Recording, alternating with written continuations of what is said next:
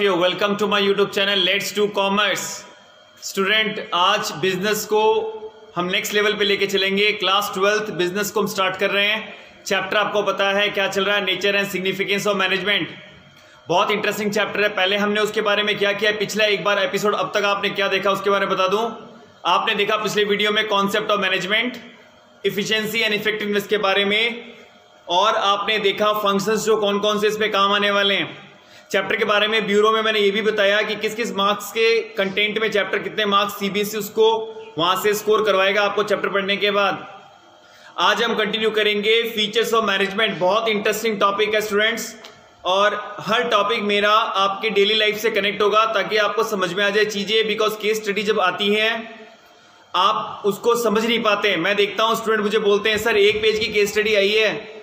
मैं तो देख के डर गया। अरे भाई, डरने से कुछ नहीं होगा, उसमें पढ़ो क्या लिखा हुआ है।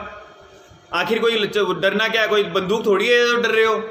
लिखी हुई चीज़ों को कैसे समझते हैं? उसके लिए क्या होता है? एक आपकी इमेजिनेशन पावर एक आपके दिमाग में स्टोरी चलनी चाहिए कि what is happening and when you understand what is happening you can very easily answer the question question are very silly मैं ये कहूँगा केस स्टडी सॉल्व करना बहुत ईजी रहता है rather than direct question because direct question में आपको quantity जो होती है, काफ़ी लिखनी पड़ती है, और स्कोर उसमें कटने की संभावना ज़्यादा रहती है। जबकि केस स्टडी में शॉर्ट क्वेश्चन होते हैं, और जल्दी सॉल्व होते हैं टाइम सेव होता है प्लस स्कोर फास्ट आता है। तो मेरा कहने का मतलब केस स्टडी से घबराना नहीं है केस स्टडी को पॉजिटिव एटीट्यूड में लेना है। चलो आइए बच्चों, शुरू करते हैं। हम आज की टॉपिक को लेते हैं। आज का टॉपिक हमारा क्या है? कैरेक्टरिस्टिक्स उर्फ़।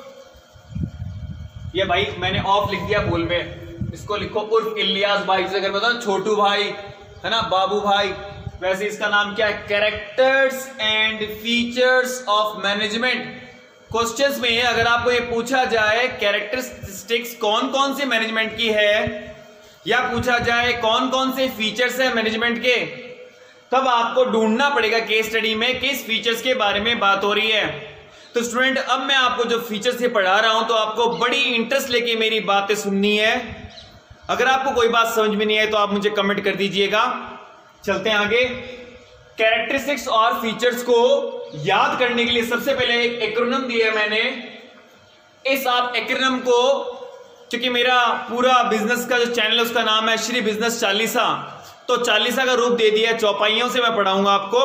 तो पहली चौपाई पहले चैप्टर में यहाँ शुरू होती है, जिस चौपाई का नाम है पीएम डीसी गिग्गी ओके? okay, आपको ऐसे याद करना है कि फीचर्स क्या है? पीएमडीसी गिग्गी फीचर्स क्या है? पीएमडीसी गिग्गी अब आपको ऐसे याद हो गया पीएमडीसी गिग्गी क्योंकि आपको ये तो पता है पीएम मोदी है है ना? पीएम इंदिरा गांधी थी। इस तरीके से आपको ये तो बातें याद है। अब छोड़ो हिस्ट्री को पीएम मोदी है या नहीं है, या रहेंगे वो, छोड़ो। फ़िलहाल बात करो, हमारे लिए बिज़नेस में इस चैप्टर में कौन है? पीएमडीसी गिग्गी तो हमें याद करना है नाम पीएमडीसी गिग्गी अब बात करते हैं पीएमडीसी गिग्गी का। मैंने शॉर्ट फॉर्म जो नाम दिया है, आप अपने नोट्स में ऐसे लिखेंगे पीएम डैश डीसी गिग्गी ताकि आपको याद रहेगा। तो पहला वर्ड पी से क्या लेना आइए हम शुरू करते हैं। पहला वर्ड है management is pervasive okay management P ऐसे करना पी से परवसी पी से परवसी पी से परवसी पी से परवसी। जैसे ही वीडियो खत्म होगा, आप आँखें बंद करेंगे, आपको सारी बातें याद आ जाएगी, क्योंकि मैं इतना इंटरेस्टिंगली आपको एग्जांपल दूँगा। तो आपको पहला वर्ड क्या याद करना, चालीसा का? फीचर्स किसके? मैनेजमेंट के। क्या नाम है? पीएमडीसी गिग्गी तो पीएमडीसी का पहला वर्ड क्या है? पी से परवेसिव पी से परवेसिव तो पहला वर्ड बन गया मैनेजमेंट इज़ परवेसिव अब बात आती है इसके बारे में, इसके अंदर क्या लिखा हुआ है? भाई परवेसिव का मतलब होता है सभी जगह एप्लीकेबल तो कहने का मतलब जो मैनेजमेंट होता है मैनेजमेंट मतलब लोगों को मैनेज करना। कोई संस्था हो, चाहे वो छोटी हो, बड़ी हो प्रॉफिट कमा रही है नॉन प्रॉफिट कमा रही है, ज़रूर वहाँ कुछ लोग काम कर रहे होंगे। Some team team is working okay और उस टीम को हैंडल करना, अपने काम को हैंडल करना, चीज़ों को व्यवस्थित करना कस्टमर्स को सेटिस्फाई करना। This complete kit is called management तो मैनेजमेंट पूरी दुनिया में सब जगह लागू होता है, चाहे वो संस्था छोटी हो, बड़ी हो प्रॉफिट हो नॉन प्रॉफिट हो चैरिटेबल हो एक्सेट्रा तो पहला वर्ड मैंने यहाँ पर लिखा है कीवर्ड्स आपके एग्ज़ाम में कैसे आएगा? एक केस स्टडी दी हुई होगी और केस स्टडी में क्या वर्ड लिखा होगा? ऑल लिखा होगा डिपार्टमेंट ओके फिर लिखा होगा ऑल लिखा होगा लेवल्स लिखा होगा ऑल लिखा होगा ऑर्गेनाइजेशन तो स्टूडेंट मैंने क्या किया है? सारे कीवर्ड्स को बाहर निकाल लिया है। मैंने काफ़ी गहन रिसर्च करी है। 2014 से केस स्टडीज़ आ रही हैं। हर एक क्वेश्चन पे मैंने स्टडी करके देखा है। अगर मैं कीवर्ड्स आपको करवा दूँ तो आपको टेंशन लेने की ज़रूरत नहीं है। आप अपने आप चलती गाड़ी में पकड़ लेंगे। ये सवारी टिकट वाली है या फिर नहीं है? सेम ऐसे इस क्वेश्चन में कैसे पकड़ेंगे? परवेसिव का मतलब होता है सभी संस्थाओं में एप्लीकेबल होना। तो वर्ड देखिए ऑल ऑल ऑल ये तो कॉमन वर्ड है। दूसरी बात बात करें ऑर्गेनाइजेशन मतलब सारी संस्थाएँ। इधर बात करें सभी डिपार्टमेंट और इधर बात करें सभी लेवल अब एक बच्चे कहते हैं, सर लेवल क्या है? मैंने तो पबजी खेला है। पबजी में मुझे पता है लेवल भाई, पबजी का तू मास्टर है। मैं तेरे को बता देता हूँ बिज़नेस में लेवल क्या होते हैं? बिज़नेस के लेवल तीन होते हैं। एक होता है टॉप लेवल दूसरा क्या होता है? मिडिल लेवल और तीसरा क्या होता है? लोअर लेवल तो ओवरऑल तीन लेवल काम करते हैं। ठीक है बच्चों? पबजी के लेवल को भी याद रखो, मेरे वाले भी याद रखो। तो ये हो गया आपका लेवल पॉइंट तो फ़र्स्ट पॉइंट वेरी इंपॉर्टेंट अगर केस स्टडी में आएगा तो आपको ये वर्ड मिलेंगे. एग्ज़ाम में आपको उस, उस केस स्टडी में से आपको छांटना पड़ेगा.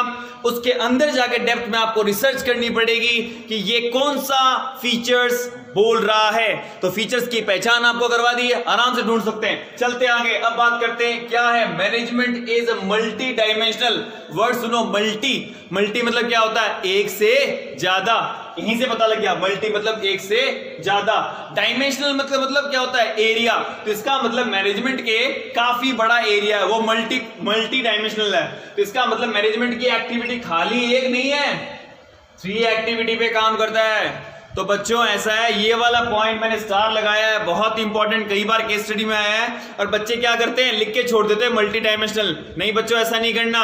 मल्टी डायमेंशनल में आपको तीन एक्टिविटी कवर करी गई है राइट अब आपको यह देखना है कि कौन सी एक्टिविटी है।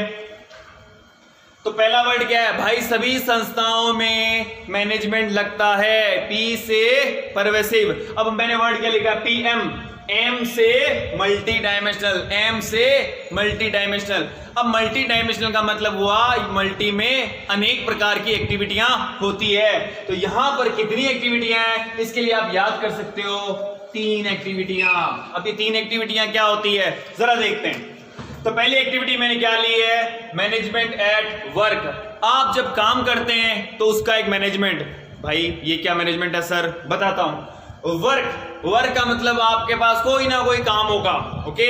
जब काम होगा, उसको हम सीधे शब्दों में केस स्टडी से कैसे छांटेंगे? लिखा होगा गोल लिखा होगा टास्क लिखा होगा वर्क लिखा होगा टारगेटेड भाई, कुछ ना कुछ तो काम होता है। घर पे मम्मी क्या करती है? खाना बनाती है। तो मम्मी का काम हो गया। पापा जॉब पे जाते हैं तो पापा का काम हो गया। अब बच्चा आपका काम तो आपका काम क्या है? तो भैया, पापा जी बोल के जाते हैं, पढ़ाई कर लियो बेटा, और बाद में थोड़ा बहुत अगर टाइम मिले तो पबजी खेल लियो, कोई बात नहीं है। भाई, सारी चीज़ें चाहिए लाइफ में, मनोरंजन भी चाहिए, खेलना भी है और पढ़ना भी है। तो जब खेलना है, पढ़ना है, खाना है, सोना है, इन सभी कंप्लीट किट को बोलते मैनेजमेंट तो आपने देखा, इसमें भी बहुत सारे काम हो गए। पढ़ना भी हो गया, सोना भी हो गया, खाना भी हो गया। तो वर्ड क्लियर हो गया मल्टी डायमेंशनल तो भैया मैनेजमेंट में भी ऐसा होता है। आपका जो गोल होगा, आपका जो कार्य होगा, उसमें बहुत सारे रूप होंगे। तो बात क्लियर होगी कि मल्टी डायमेंशनल की पहचान क्या है? मल्टी डायमेंशनल का आपका पहचान है मैनेजमेंट एट वर्क पहला एक्टिविटी ये होती है, आपके पास अपने काम को मैनेज करना, ओके? तो मल्टी डायमेंशनल में तीन स्टेप है। पहला, कुछ ना कुछ काम होना चाहिए। अगर काम नहीं होगा तो फिर मुझे बताओ आप क्या करोगे? एक बच्चे को बोला तो पूरे दिन सोते रहे, पूरे दिन सोते रहे पॉसिबल है? नहीं, वो उठने के बाद बोला, मुझे भूख लगी है। ओके तो पूरे दिन खाते रहे, पूरे दिन खाते रहे। फिर वो खाना भी इंटरेस्टिंगली नहीं खाएगा। तो कहने का मतलब एक प्लान होना चाहिए, एक टारगेट होना चाहिए, एक गोल होना चाहिए। बस यही है हमारा मैनेजमेंट एट वर्क हमारे पास कोई भी काम होगा, उसको हम कैसे मैनेज करते हैं? अब सवाल उठता है, काम मिल गया। मैं एग्ज़ाम्पल लेता हूँ, शानदार स्कूल से। आपकी लाइफ से जुड़ा हुआ है, आपको बहुत जल्दी समझ में आएगा। एक एग्ज़ाम्पल लेते हैं, बेहतरीन। एक स्कूल होती है, ओके? तो स्कूल जो होती है, उसको कैसे मैनेजमेंट करते हैं, उसमें हम लेते हैं फीचर्स का ये वाला point management is multi dimensional देखिए कैसे काम करता है। भाई, स्कूल के पास क्या टारगेट है? स्कूल के पास ये टारगेट है, बच्चों को अच्छी तरह पढ़ाना, उनकी शिक्षाओं में उनको एकदम ज़बरदस्त परफॉर्म करके उनको तैयार करना और उनकी अच्छी परसेंटेज आएगी तो पेरेंट्स खुश हो जाएँगे और वो भी खुश होंगे। तो फ़र्स्ट प्रायोरिटी क्या है? बच्चे को हमें अच्छा सुदृढ़ उसका नींव मज़बूत करना, उसका कैरियर बनवाना। तो ये हमारा हुआ गोल तो दैट इज़ कॉल्ड एजुकेशन अब हमारे पास बात आती है स्कूल ये काम तो करना चाहती है, बच्चों को अच्छा पढ़ाना चाहती है। तो खाली बच्चे को पढ़ाना चाहती है, चाहने से क्या होगा भाई?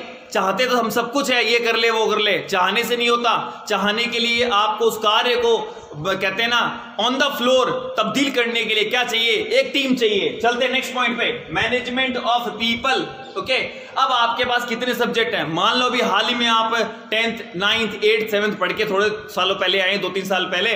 तो आपको मैं एग्ज़ाम्पल लेता हूँ क्लास टेंथ की। टेंथ में आप टेंथ में आप एसएसटी पढ़ते हैं इंग्लिश पढ़ते हैं मैथ्स पढ़ते हैं ओके तो मैं तीन सब्जेक्ट ले लिया। और भी सब्जेक्ट पढ़ते होंगे, मुझे नहीं पता वॉट एवर सो है। सभी सब्जेक्टों के डिफरेंट डिफरेंट टीचर होते हैं। वो अपने फ़ील्ड के एक्सपर्ट होते हैं। अच्छा पूरी स्कूल में एक ऐसा व्यक्ति होता है, वो इन सबको मैनेज करता है। समझ में आ गया होगा किसकी बातें कर रहा हूँ? जिनका बच्चों को लगता है खौफ। डर, आते ही बच्चे भाग जाते हैं पैरों की गड़गड़ाहट से देखते ही आगे आगे, सर। कौन है वो? वो है हमारे प्रिंसिपल सर, ओके?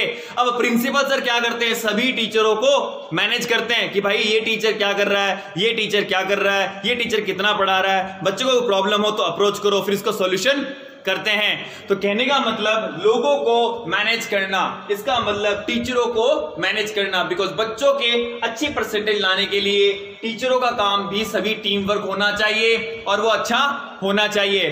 तो वर्ड क्लियर हुआ, हमारे पास काम होना चाहिए गोल होना चाहिए, कुछ ना कुछ टारगेट होना चाहिए। उस टारगेट को पूरा करने के लिए हमारे पास टीम होनी चाहिए। तो सेकेंड वर्क क्लियर हो गया वर्क अब हम बात करते हैं ऑपरेशन क्या है। व्हाट इज़ ऑपरेशन यार, हमने जब भी हॉस्पिटल गए ना वर्ड सुना है। डॉक्टर क्या कर रहे हैं? ऑपरेशन डॉक्टर क्या कर रहे हैं? ऑपरेशन तो भैया ऑपरेशन क्या होता है? ऑपरेशन का मतलब होता है किसी पेशेंट की वट एवर चीरा फाड़ी कर रहे हैं और उसको क्या कर रहे हैं? तैयार कर रहे हैं। उसका जो भी रोग है, वो मिटा के उसको ठीक कर रहे हैं। चाहे हड्डी टूटी तो ऑपरेशन चाहे लीवर चेंज किया तो ऑपरेशन चाहे वट ओके तो ऑपरेशन का मतलब होता है to do the task which has been assign to the particular person तो डॉक्टर को जो काम दिया गया है, वो करता है, उसी को बोलते हैं ऑपरेशन अब तक बच्चों ने ऑपरेशन वर्ड को हॉस्पिटल से जोड़ दिया. माय डियर स्टूडेंट ऑपरेशन मतलब होता है देसी भाषा में आपको जो कार्य दिया गया है, जब आप उस कार्य को करते हैं, तब उसको बोलते हैं ऑपरेशन सो स्कूल में टीचर्स क्या करते हैं? बच्चों को पढ़ाते हैं अपनी क्लास में जाके. लेक्चर डिलीवर करते हैं, उनकी क्वेरी सॉल्व करते हैं, इसी को बोलते हैं ऑपरेशन तो स्टूडेंट क्या हुआ? कुल मिला के दो वर्ड क्लियर हुए हैं। भाई, मेरी बिज़नेस ऐसे ही चलेगी, दिल से चलेगी, याद सारा हो जाएगा। तो मैंने आपको पहला वर्ड क्या सिखाया है? पीएमडीसी गिग्गी ये क्या है? क्या ये एक्रोनिम है? किसका फीचर्स किसका मैनेजमेंट तो चैप्टर फ़र्स्ट के मैनेजमेंट के फीचर हमने याद कर लिए और क्या नाम रख दिया हमने उसका? भैया पीएमडीसी गिग्गी पी से परवसिव एम से मल्टी डायमेंशनल फिर मल्टी में भी तीन एरो आने चाहिए, दिमाग के बाहर लट्टू की तरह। भाई, तीन लट्टू जल जाने चाहिए। क्या? कि तीन हमारे क्या है? मल्टी डायमेंशनल है। तो सोचो, कैसे? भाई, काम होगा। तो गोल होगा। अरे गोल होगा तो उसको कैसे पूरे करेंगे? तो लोग होंगे। लोग होंगे तो हमारा क्या होगा? पीपल मैनेजमेंट ऑफ़ पीपल और वो लोग क्या करेंगे? अपना अपना काम करेंगे। तो तीनों वर्ड क्लियर होंगे। हमें क्या चाहिए होगा? Work people O W P O तो मैं ये कह सकता हूँ डब्ल्यू पी ओ अरे भाई, सुना होगा डब्ल्यू पी ओ नहीं सुना? तो सुन लो आज। तो भैया पीएमडीसी की की पी से परवसी एम से मल्टी डायमेंशनल मल्टी डायमेंशनल में क्या है? WPO management of work management of people and management of operation तो टीचर जो पढ़ा रहा होगा, वो अपने जो ऑपरेट कर रहा होगा, बच्चों को ऑपरेशन मतलब ना पढ़ा रहा होगा तो उनकी क्वेरी सॉल्व कर रहा होगा तो उसको कैसे मैनेज करता है? That's call operation so finally आज की वीडियो में मैंने आपको दो वर्ड क्लियर किए और उम्मीद करता हूँ आपको शानदार तरीके समझ में आया है। प्लीज़ आपके कमेंट का इंतज़ार करूँगा। आपके वैल्यूबल कमेंट्स मुझे मोटिवेट करते और मुझे कुछ नहीं चाहिए बच्चों, आपका प्यार चाहिए। आप पढ़ते रहिए रिज़ल्ट लाते रहिए। यही मेरी तह दिल से इच्छा है। आप सभी के लिए धन्यवाद। Thank you very much bye